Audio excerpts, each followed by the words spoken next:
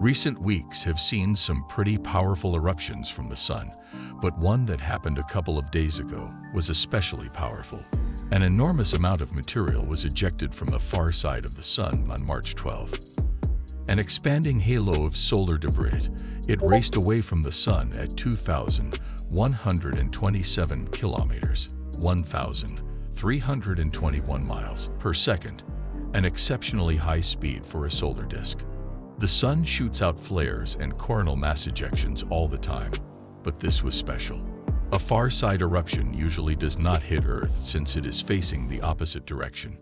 However, this one was so intense that satellites orbiting our planet picked up particles accelerated by the shockwave that reached our corner of space because of the eruption's intensity. As it seems, the sun has been up to some shenanigans lately. Sun's activity peaks and declines in roughly 11-year cycles. The Sun's magnetic field reverses polarity every 11 years, causing these cycles. Large numbers of sunspots appear during this period. There are temporary patches of stronger magnetic fields on the Sun. Currently, there are about 100 sunspots on the Sun, some of which are clustered into sunspot regions.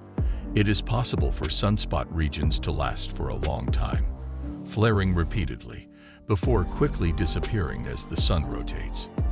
Fortunately, the Parker Solar Probe was directly in the path of the CME. Having sent signals back to Earth, Parker engineers are now waiting for the next download of Parker's data to read the flare measurements.